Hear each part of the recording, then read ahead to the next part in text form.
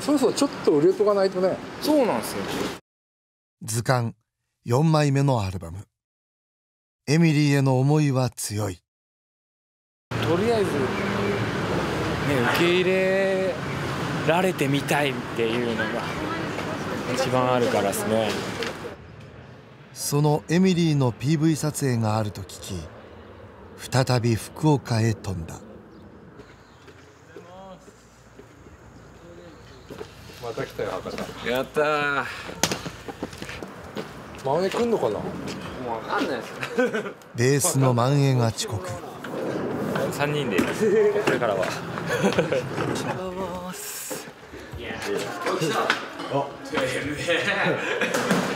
んであんた生き方も教えたのに。いやふざけんな。なぜ遅刻したのか。なんと節約のために家からここまで10キロを2時間半かけて歩いてきたらしい。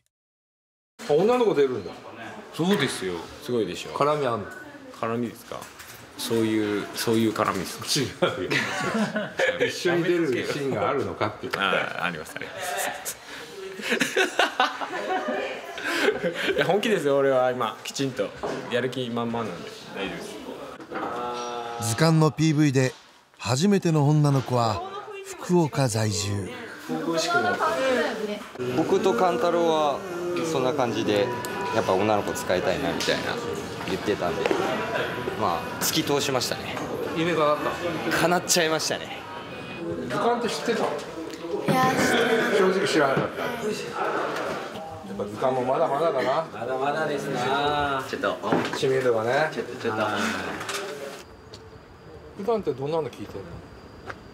何ですか？音楽ですか？曲。うん。K-POP です。K-POP か。エミ売れるかな？売れます。売れる？めっちゃ耳に残るし歌詞もいいと思います。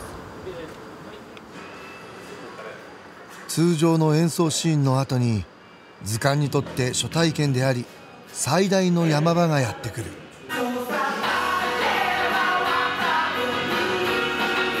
今の大切と気づいた時からの。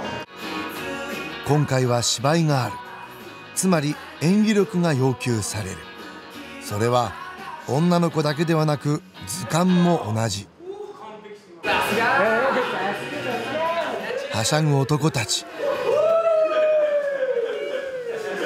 万円をボコボコにするシーンですか？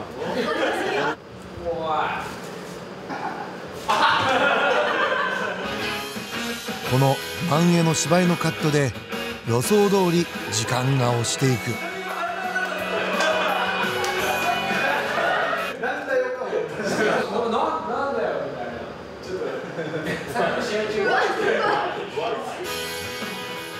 何回も NG が出される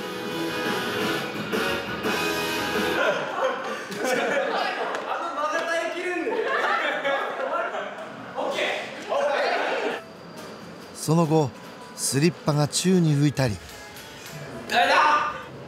なぜか蜂があったり頭を叩かれたり踊ったり。売れそう。まあそうですね。でもね PV 負けしてない？してないっすよ。これは。こうして図鑑渾身の曲「エミリー」の PV が完成したでも反応僕はもうでも今反応よりもそしたら数字の方が欲しいです。どちらかというと。そうだよね。はい。